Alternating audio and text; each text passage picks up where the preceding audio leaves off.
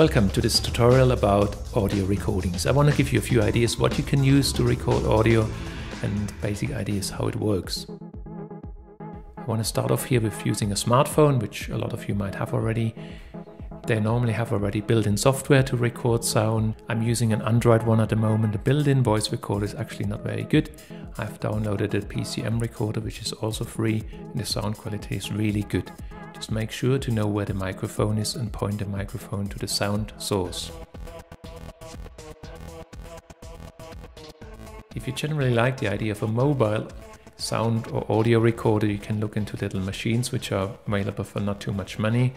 They're also very easy to use and they normally have very good stereo recording. This is useful for good music recordings if you want to record songs. They're very easy to use. This one you just press the rec button the level shows. If you press it again, you're actually off and record. You can see the timers running. And once you've finished, you can play back and check very easily. Files can be transferred easily through USB or the sound card. But you don't need any special software or hardware, you can just use what you have on your Windows or Mac computer.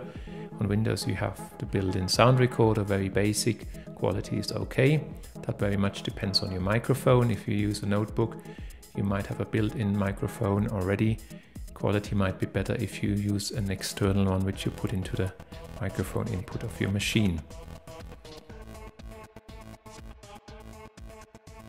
Another option which is really nice for sharing is to record the sounds or music directly in the cloud, in the internet.